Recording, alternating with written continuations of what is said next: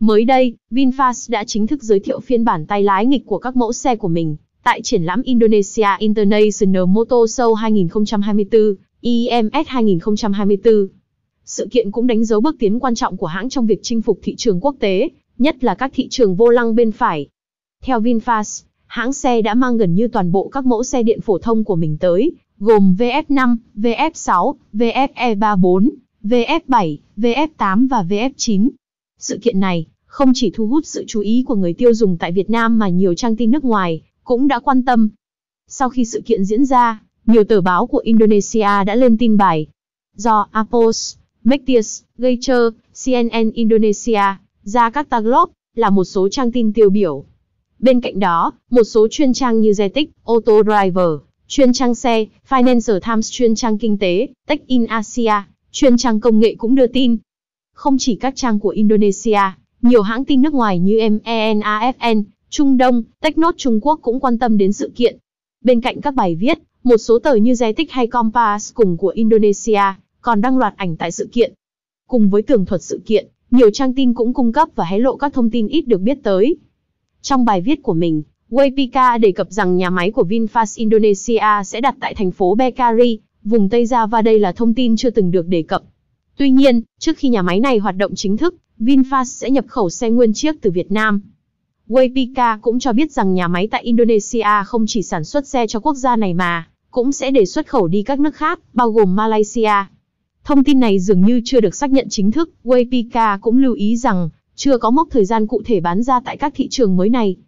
Cũng đưa tin về nhà máy của VinFast tại Indonesia, chuyên trang Automotive cho biết rằng Bộ trưởng Bộ Công nghiệp nước này, ông Agus Gumiwang Kartasasmita, đã có một buổi họp với ban lãnh đạo VinFast để cùng thảo luận về việc đầu tư vào Indonesia.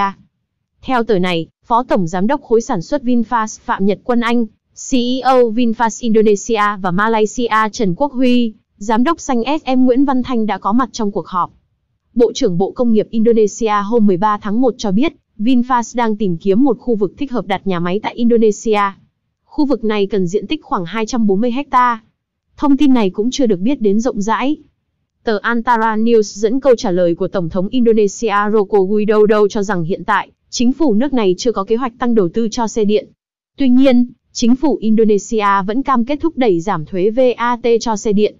Tổng thống Indonesia cho biết rằng, mục tiêu là mọi hoạt động sản xuất về xe điện có thể diễn ra tại nước này.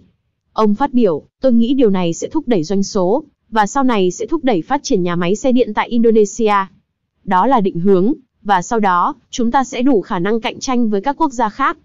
Một thông tin thú vị khác, cũng cần nhắc tới là tờ Antara News hôm 29 tháng 1 từng có bài viết cho rằng, VinFast có thể sẽ mang xe buýt điện VinBus tới triển lãm IEMS 2024. Tờ này dẫn câu trả lời của giám đốc kinh doanh Suresh Manugroho tại VinFast Indonesia. Chúng tôi sẽ trưng bày xe buýt điện VinBus tại khu vực ngoài trời của IEMS 2024.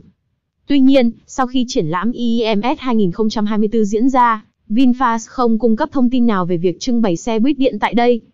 Chạm sạc luôn là câu chuyện đi kèm với xe điện. Trong bài viết về sự kiện, The Republicer cho biết, VinFast dự định bắt tay với đối tác để xây dựng trạm sạc tại Indonesia.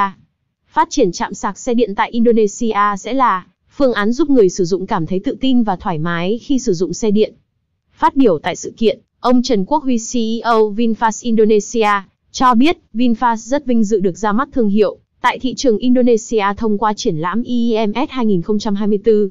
Chúng tôi mong muốn mang đến cho khách hàng địa phương thêm nhiều lựa chọn di chuyển thân thiện với môi trường, cùng với sự cam kết đồng hành xuyên suốt hành trình sở hữu xe điện, từ đó truyền cảm hứng cho mọi người cùng khám phá những tiềm năng không giới hạn của cuộc sống hiện đại và tương lai di chuyển xanh.